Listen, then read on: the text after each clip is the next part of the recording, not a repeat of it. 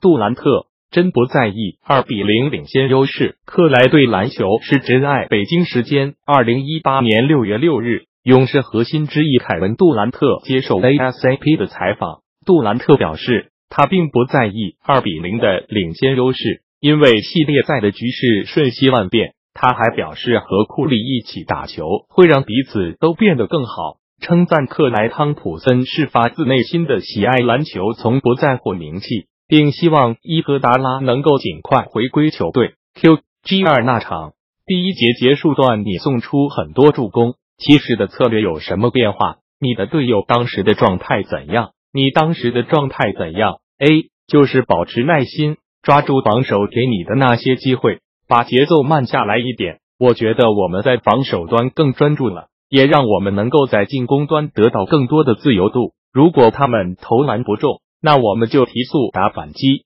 当然，我们知道明天的比赛肯定不一样，所以我们必须得更多分。Q，你如何看待这个赛季你和库里的配合？你们是如何让彼此更好的？你觉得这个赛季的整体进程如何？A，我俩已经在一起打两年球了，两年的时间让我们找到了平衡。在一起打球，对我们彼此都有帮助，而且不只是对我们俩，每个球员的表现都更好了。我们就是帮助勇士找到合适的打法，帮助他们打出火力和节奏。当你相信自己的工作，并找到其中的规律，结局总是很好的。所以就是让事情更加简单。Q 在进攻停滞的时候，你会把很多时间用在单打上。很多人认为勇士的球会停滞。关于这点你怎么看？A. 人们之所以会谈论我的单打不利于球的传导，很大原因还是我们当时在休斯顿打比赛，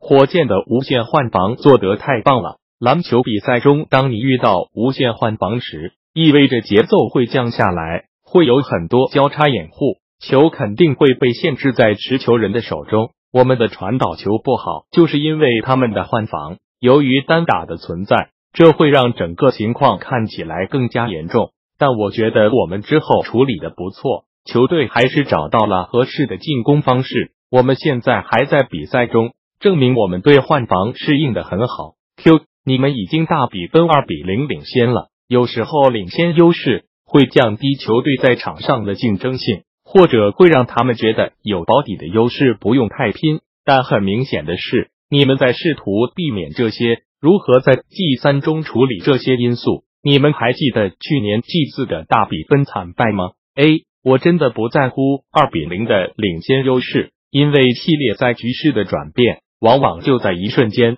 有领先优势当然好，但我们不能太想当然，因为工作还没有结束。当你还在试图赢下系列赛时，没有时间放松，客场之旅当然会很艰辛。我们就是努力打出勇士风格的篮球，尽最大努力打出强硬的比赛。去年 G 四我们打得很烂，骑士的投篮超级好，我们几乎是步步错，所以今年要避免那样。Q 周一的比赛后，追梦格林说，克莱是他搭档过最强硬的球员。其实当你想起克莱时，你通常不会想起强硬，但他真的很少缺席比赛。你怎么看追梦对克莱的评价？A. 克莱从不抱怨，而且很好相处。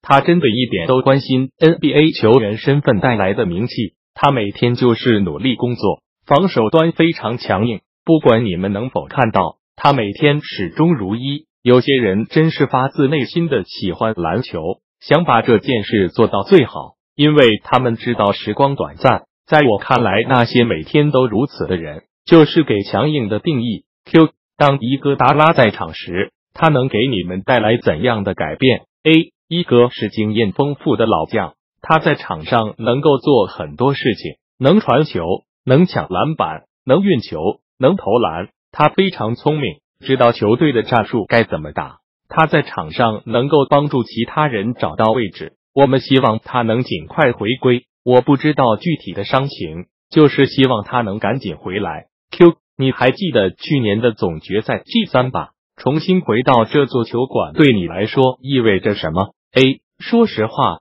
真没什么。我们赢得了总冠军，但我觉得其他的进球都和我那个进球一样重要。这就是我打比赛的方式。知道哪些进球能帮助我们赢下比赛，我每天就是这么练习的，而且每一节都有这样的关键回合，所以我们知道每一回合都很重要。我们现在有一个很好的机会，手握二比零的领先优势，我们想走上球场，利用这个优势。